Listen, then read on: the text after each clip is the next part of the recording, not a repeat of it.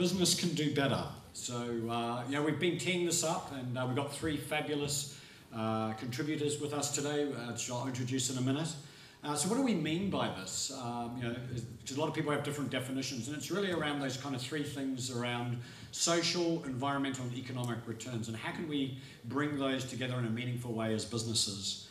I think one of the best ways to tee this up is uh, I had the pleasure of listening to John Mackey, uh, the CEO of Whole Foods, uh, at Milken Global last year, and he said two things that I thought were very profound to me anyway. Was that he absolutely rejects the notion that there's a trade off between those three.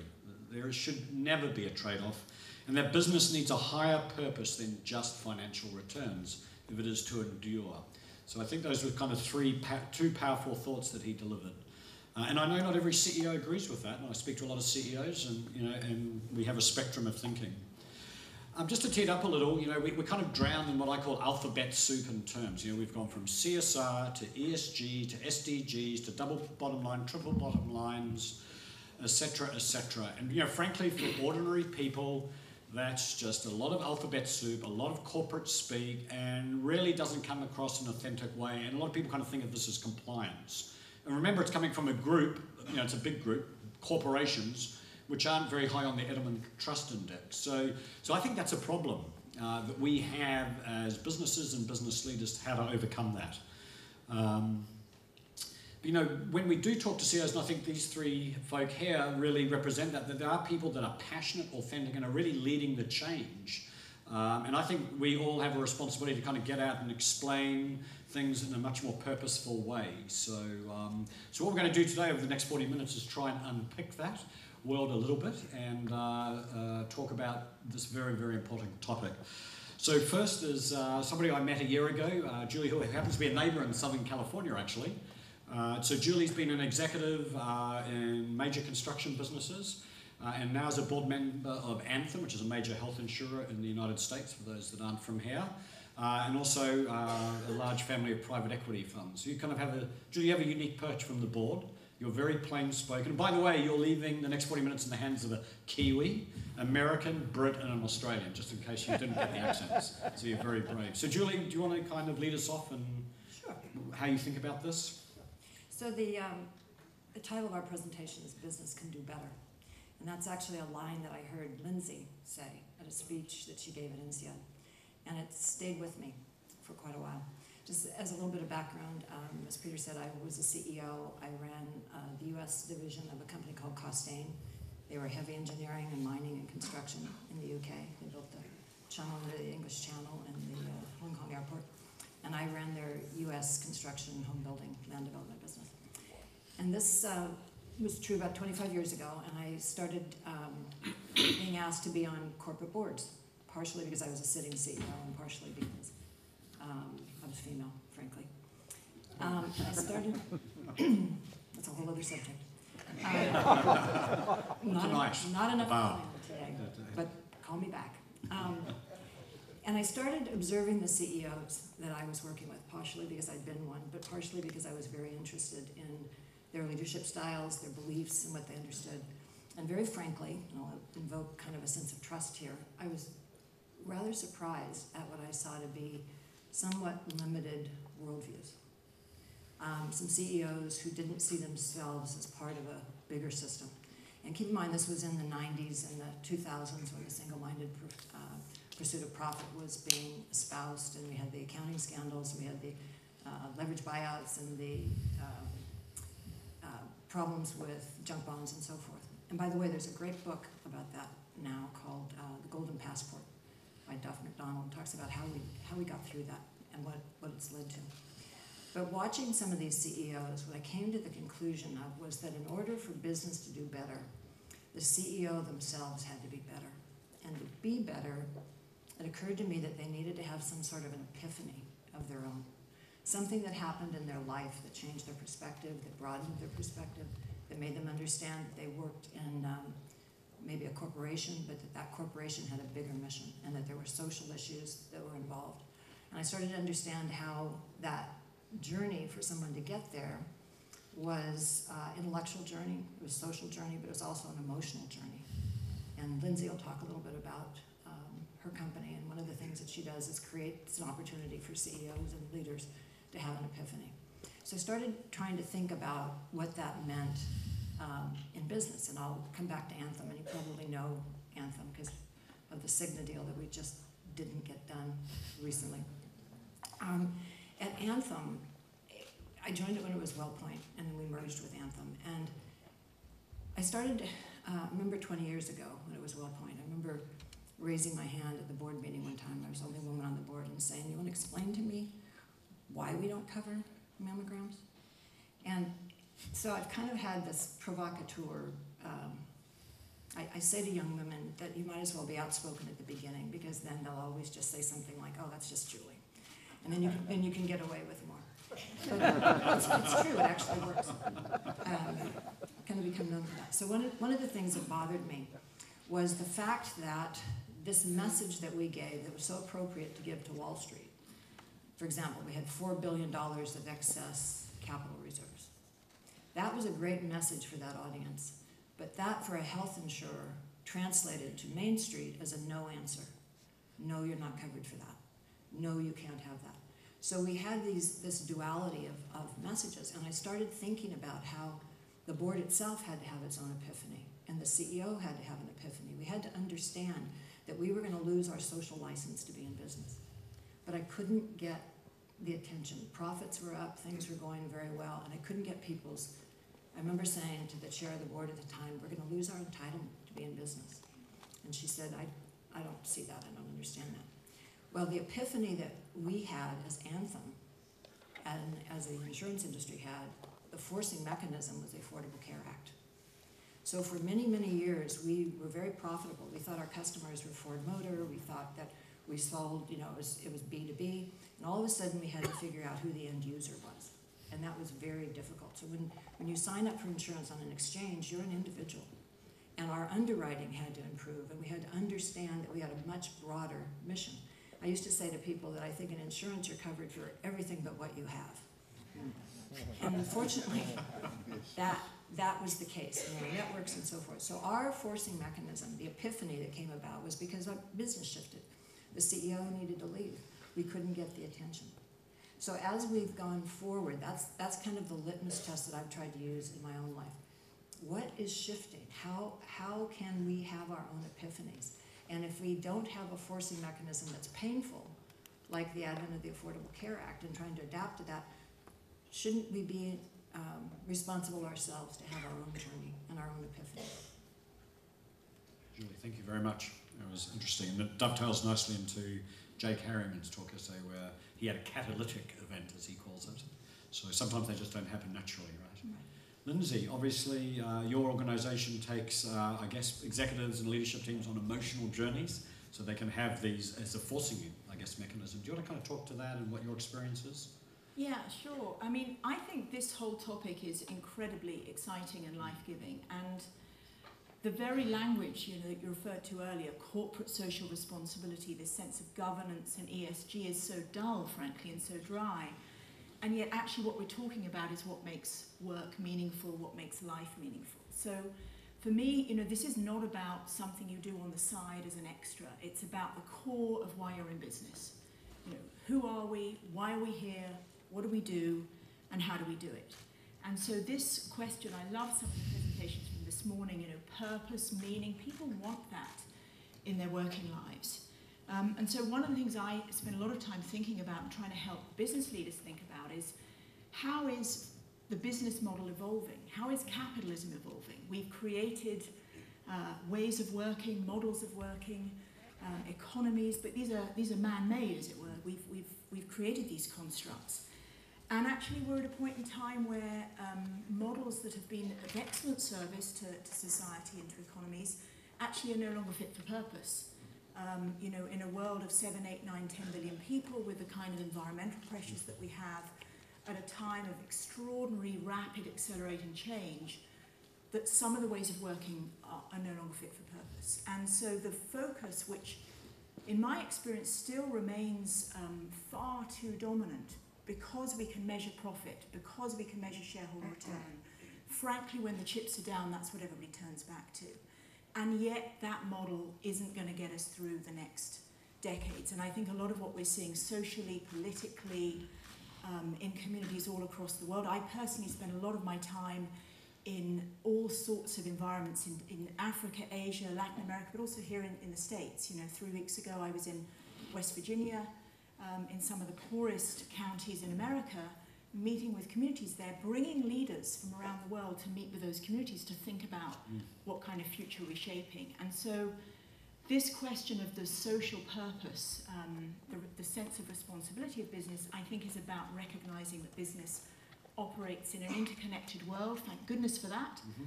um, that businesses are made up of people and that people care about uh, meaning and they care about doing something purposeful. So when you really enter into this conversation about evolving business models and evolving capitalism, in many ways, frankly, it's pretty awkward mm. because there is this daily pressure of delivering quarterly returns. And, you know, we know it's very easy to find yourself out of a job if you just take one dip in a quarterly return. So, how do we build a bridge to the future whilst also walking across it? Because I think our generation sitting in this room, you know, what we're in the midst of creating what's to come. Um, and that's a, that's a tall task because the, the measurement and the scorecard um, remains, if you like, with the past. And so we're, we're both needing to create new models whilst also satisfying uh, the pressures of the day to day. I think one other thing I would say is, you know, as we think about business as having a much bigger interconnected role sustainable well-being across the planet, some of the presentations, wonderful presentations we heard this morning, the energy, the passion, the excitement from the people on the stage and, and from uh, many of you in the room when we're doing something that feels like it's part of something bigger. It's not very exciting actually to just focus on, on shareholder return.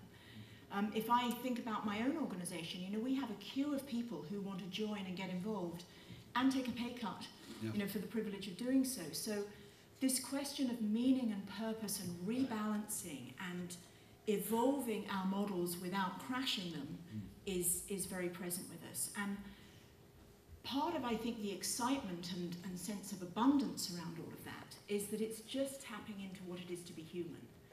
Uh, you know, we are creatures that care about relationships, we care about joy, we care about making the best of, of the opportunities that we have in front of us, we love beauty, we love nature.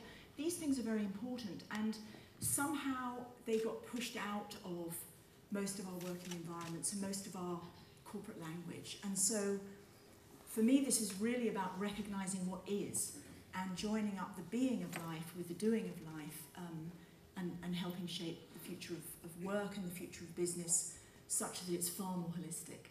Now Lindsay, thank you. I mean, I think uh, let's not leave our humanity at the front door of our office, right? So I think that's very important. So, Mark, uh, you're a chief executive of one of the largest mining companies in the world. Uh, you've just joined the board of Total, one of the largest oil companies in the world. Uh, and we've talked a lot about epiphanies. Uh, I think you've probably had a, several epiphanies, but one in particular. And do you want to talk about as from your perch as a chief executive and how you see this? Yeah, well, thanks, Peter. Uh, firstly, I should acknowledge Rob and the team for, uh, again, a, a, great event. Um, from my point of view, the reason I'm here is because you're not from my world and therefore I learn so much more in coming to these types of events, so it's great to be here. Um, the reference to an epiphany that uh, Peter's making is that um, I was offered a role in South Africa back in 2007 and uh, it was to lead a, a, mining company called Anglo Gold Ashanti, a South African mining company, but it had operations around the world. Um, and in the conversation around whether I should take the role on, the, uh, in doing my homework and in our conversations, the point came up that at that point we were killing one person every 10 days. And I was thinking about that issue. And the other statistic that was rather scary is that our HIV prevalence was about 34% in the workforce in South Africa. And I was scratching my head thinking, how do you think about those sorts of things in deciding to join a company where they have those characteristics? And one of my friends said that would be the last place I would go and work.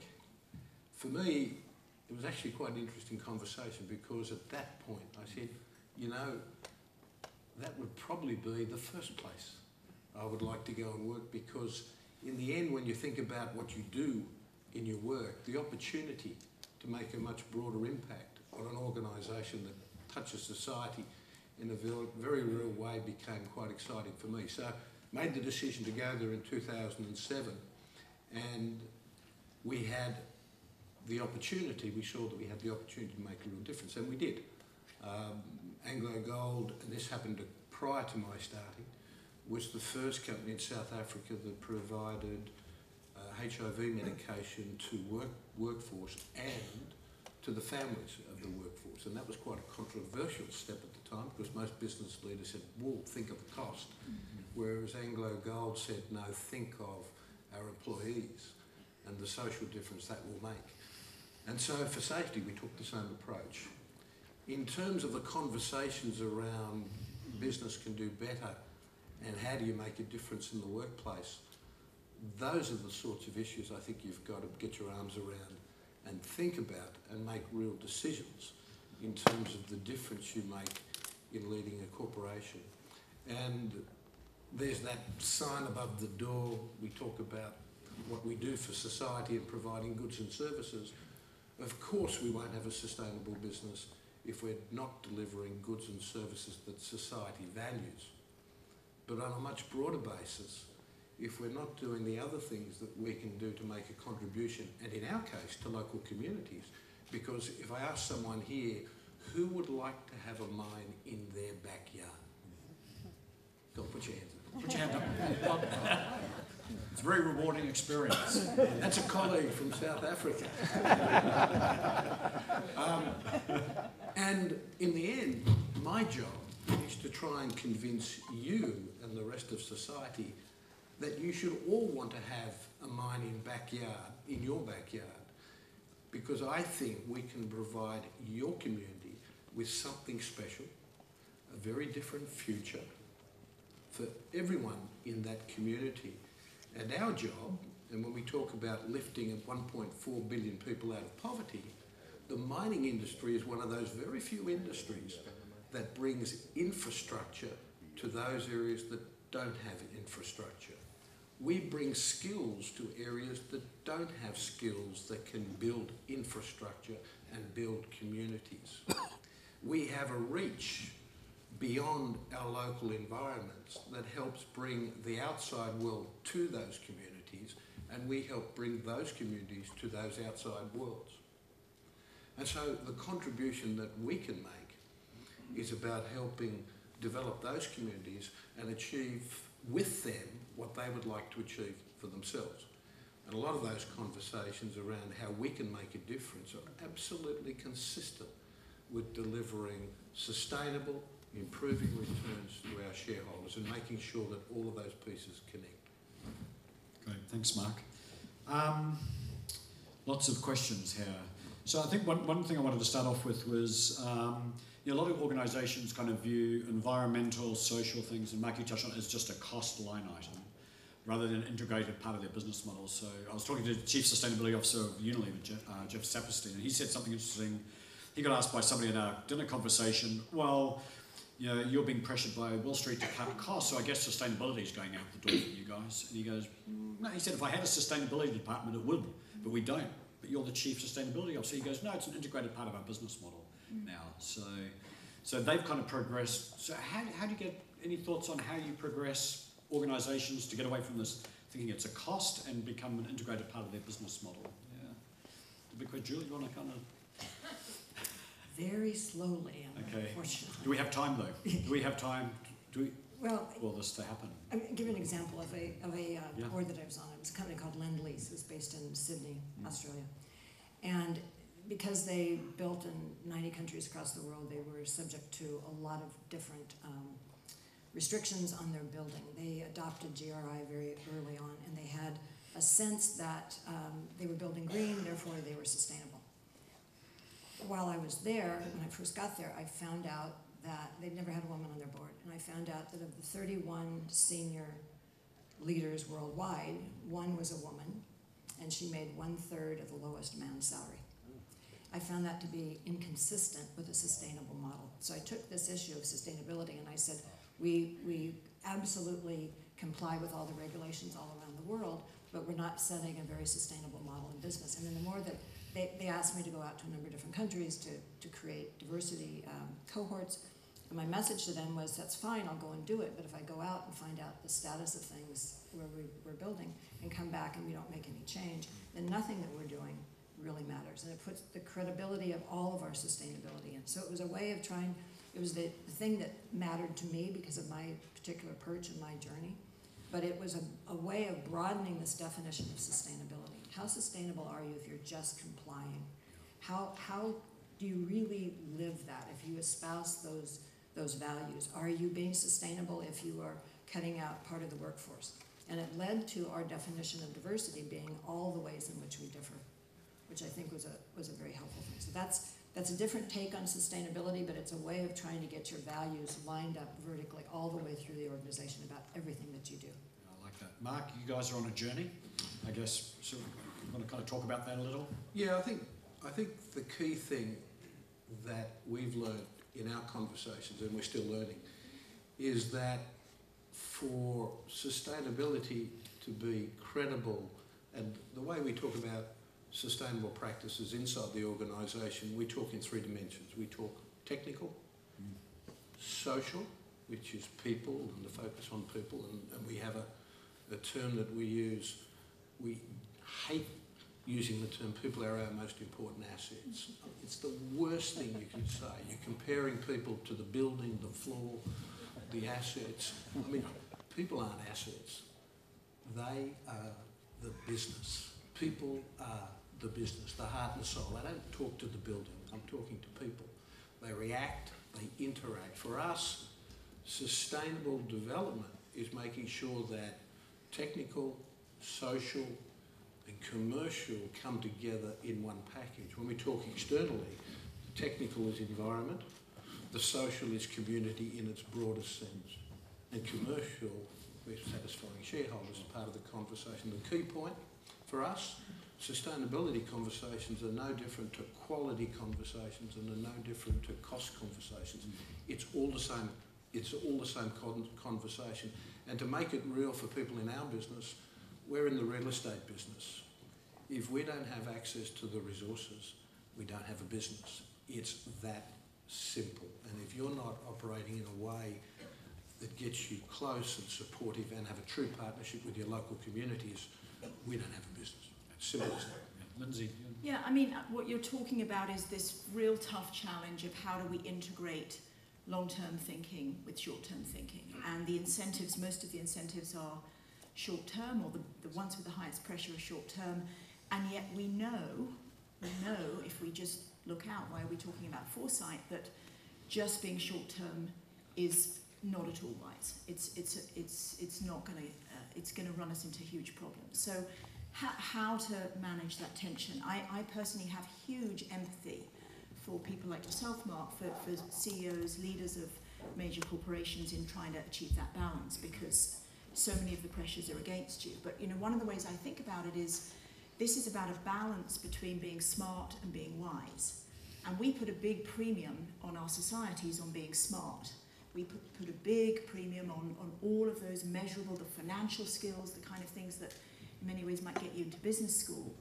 And we put less attention on the things that really are all about wisdom. Mm. Um, you know, and, and wisdom is, is much more uh, climatized to a longer term, bigger perspective. It includes intuition and, and our own sensing of being part of a community and, and of being an interconnected part of life.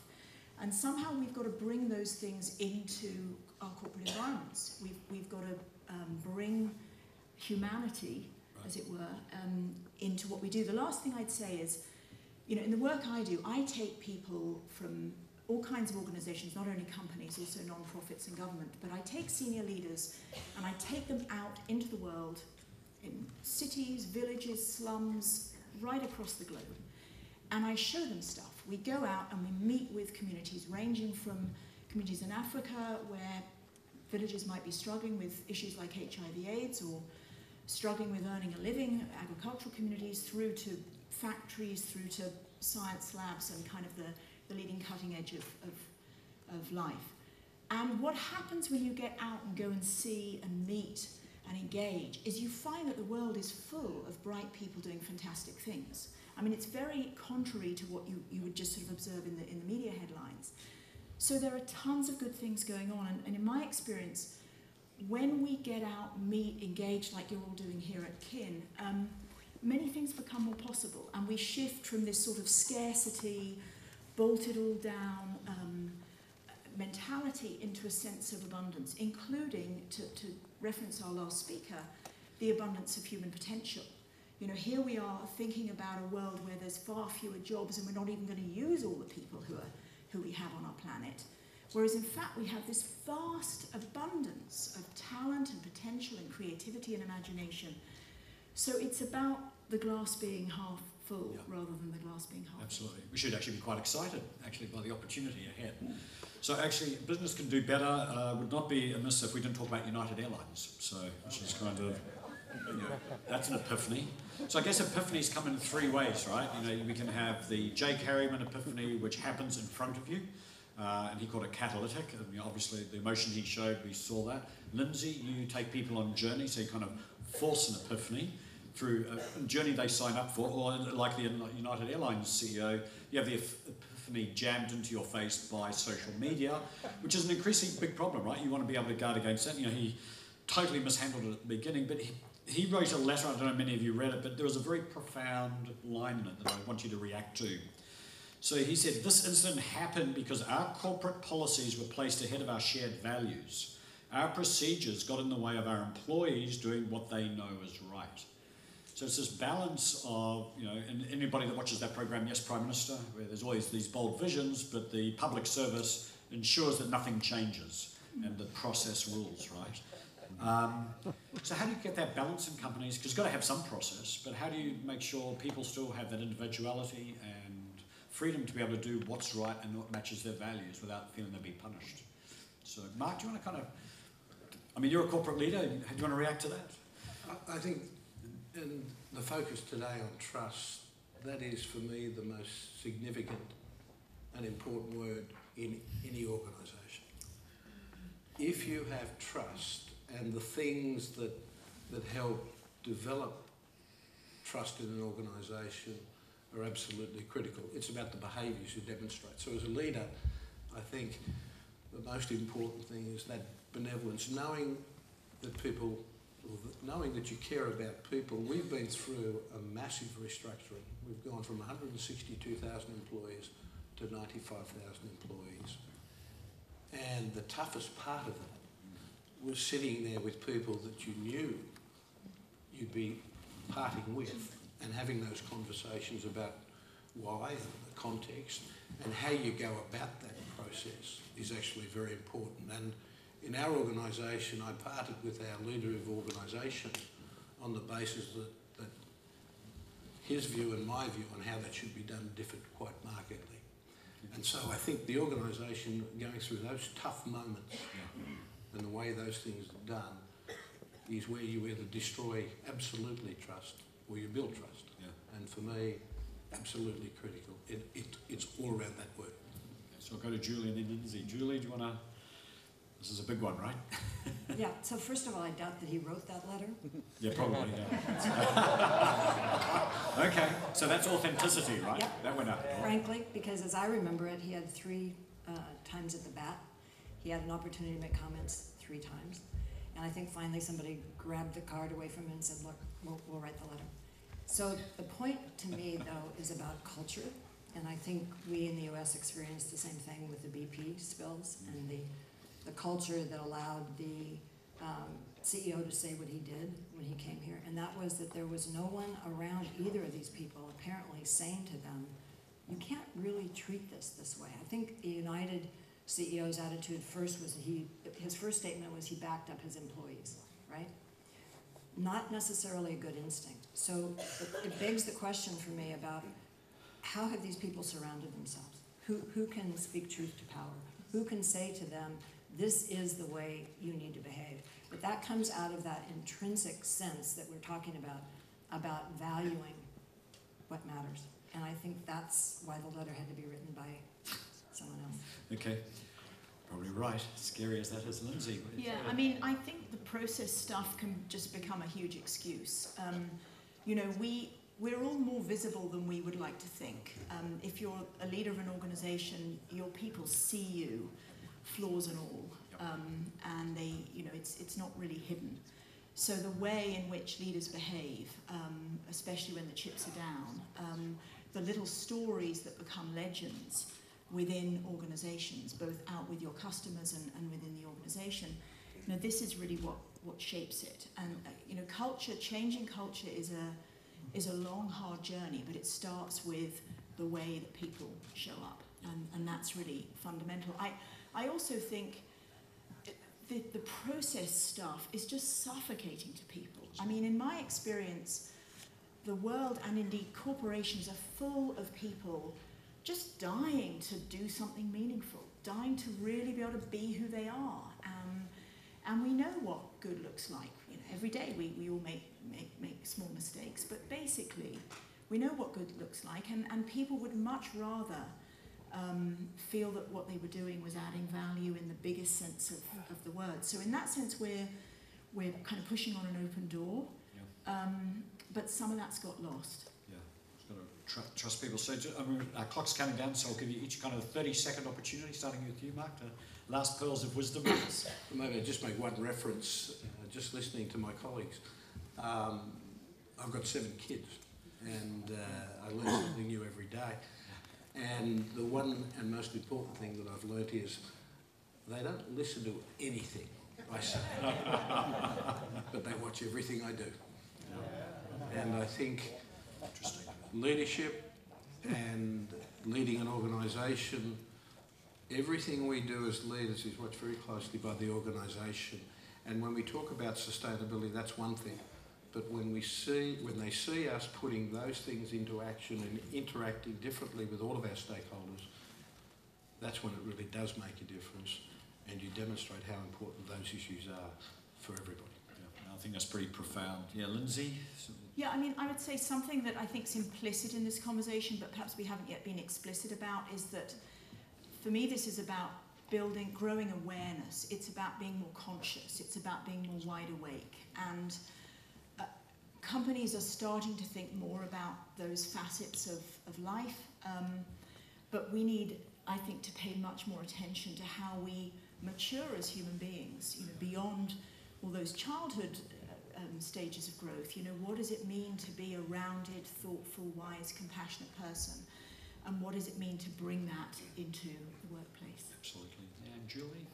It, it's interesting. I, I uh, chair the Board of Trustees at the University of California at Irvine and just came across a professor in the business school who is studying awe, A-W-E. And what he has found out is that it's a universal um, emotion, and it's something that keeps us all connected. And one experiences awe the way he defines it as seeing something bigger than oneself. So you could go to the sequoias, you could go look at the ocean, you can see yourself in a much larger system. And as he goes through this research, he talks about the fact that we don't have much awe in business. It's part of our humanity that we don't, don't bring in. And he looks at it as an organizing mechanism that says how much more genuine we would be, how much more generous we would be, how much more capacity we would have to see systems and, and be systems thinkers if we just experienced a little bit more awe. And he suggests going out and standing and looking at trees before you make a decision. He's done research where people are more generous when they look at trees than when they look at brick buildings or concrete buildings. So I'd suggest that awe might be a good thing for all of us. Awe. So I think this has been great. I mean, some of the things we've heard are people are the business, they're not the asset, uh, which combines, you know, with the whole issue of trust, trust your people and trust all stakeholders. I think simplicity and, you know, allowing our humanity in.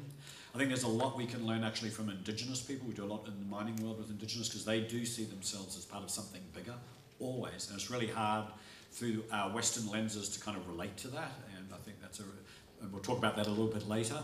Um, I think this issue around compliance with regulation is a huge issue. I, I firmly believe companies saying I comply with regulation is simply not enough because regulators take ages to catch up. And society's moving at such a pace that companies really have to step up and actually do what's right and recognise that when they do that, and even if it exceeds regulation, actually it, it flows into their financial returns ultimately. Um, culture is what matters as well. I think that's important when you're dealing with your people and builds trust. And I think ultimately these kind of epiphanies uh, very important, but I think it's an emotional journey. If you hear about everybody's epiphanies, uh, it's always something emotive that drives that. So um, I'm asking the panel to stay up because we have a very special announcement, Mark and I, but I won't ask Julie and Lindsay to leave the stage. But first, please thank everyone here. I think it's been a great conversation. Thank you. People that have been in TWIN have been watching our journey. So in 2011, uh, Mark and I had a conversation actually in the lecture at the theatre at Clinton Global uh, over in the Allen Centre, and we were talking about the mining industry and how its business model and everything it was doing was unsustainable into the future. That sparked a journey called the TWIN Catalyst, the mining company of the future. It's been a tremendous journey, uh, not made possible, wouldn't be possible without uh, tremendous support from a wide variety of corporations and uh, you know, Mark's organisations, both Anglo Gold and Anglo American, and a number of people in this room, and I'll mention those a bit later. Um, and the Development Partnership has really been formed to continue the work that was catalysed by the TWIN, uh, incubated by the TWIN, and it is now to amplify and broaden that aspect. Um, what you see up there is um, part of that amplification is you'll see Colvere, who's the founding executive director, hand up Colvere at the back there. Uh, we're taking that out at regional basis, so this is Colvere and one of our folk, Kevin Phelan, uh, facilitated a workshop in Limpopo, South Africa, uh, a couple of months ago with a whole variety of stakeholders from teachers, Indigenous people, ANC representatives, government, mining companies, to take the principles of the development partner approach that we've co-created with a number of different stakeholders uh, to specific operations. Uh, it's very important to us, we're very proud of it. Uh, we've raised half of the $4 million that we had set ourselves as a target. So we're very excited, and to me, it's, it's just kind of a pivot in our journey. So, Mark, I mean, you've been with us from the very beginning. Um, and you know, when you started, you were the president of the ICMM, which is the Pinnacle Mining Organisation.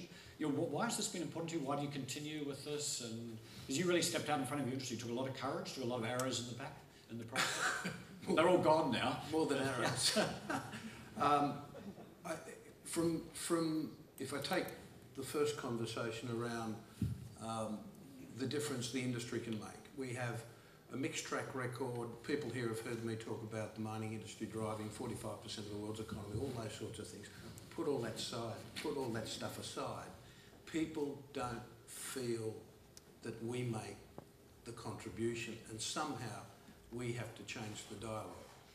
And as an industry and in many of our industry associations, we talk to each other, we share our frustrations, but at the end of the day, it's a conversation between ourselves.